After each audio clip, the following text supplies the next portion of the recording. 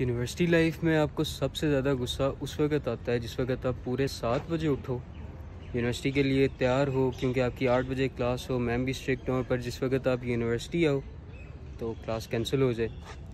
मुझे ऐसे फील हो रहा है कि जब से मैंने क्लासेस सीरियस लेना शुरू की हैं क्लासेस ने मुझे जो है ना नॉन सीरियस लेना शुरू कर दी है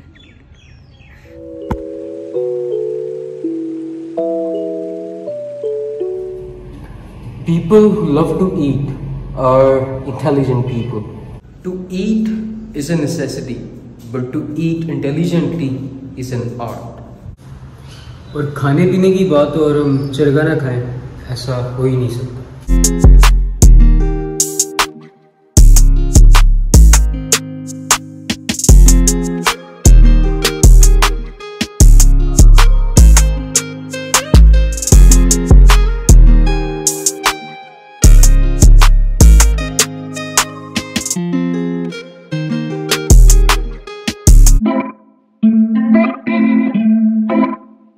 आज हम जिस टॉपिक के बारे में बात करने जा रहे हैं, उसका नाम है एरोगेंस मतलब गरूर.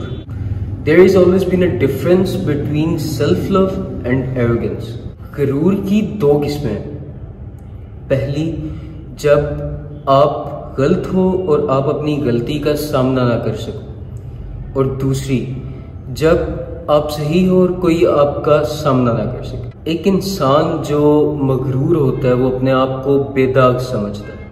ये चीज़ उसकी ज़िंदगी के लिए वो जहर साबित होती है, जो कि उसे आहिस्ता आहिस्ता करके मारती है। हमेशा से ये होता है कि एक मगरूर इंसान को जो चीज़ इस इस सोसाइटी के अंदर फेस करनी पड़ती है, वो ये है कि लोग आपसे मुँह फेरना शुरू कर देते हैं। वो लोग अपने आप को दुनिया में अकेला फील करना शुरू कर देते हैं। और आखिर में वो लोग डिप्रेशन की उस फ़ेज़ में चले जाते हैं जहाँ से निकलना बहुत मुश्किल होता है।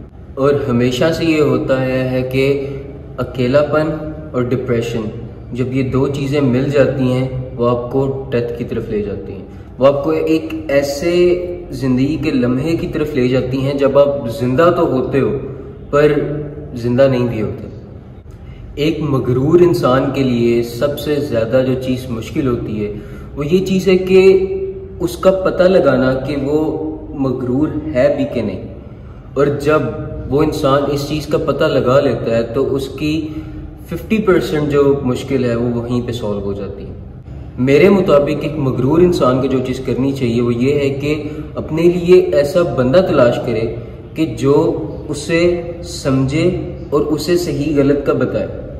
और एज अ सोसाइटी हमें ये चाहिए कि हम लोग एक मगरूर इंसान को समझाएँ, ताकि शायद हमारे समझाने से वो अपने आप को सेल्फ फेस सेल्फ मिरर में देख सके और वो उस रास्ते से हट जाए।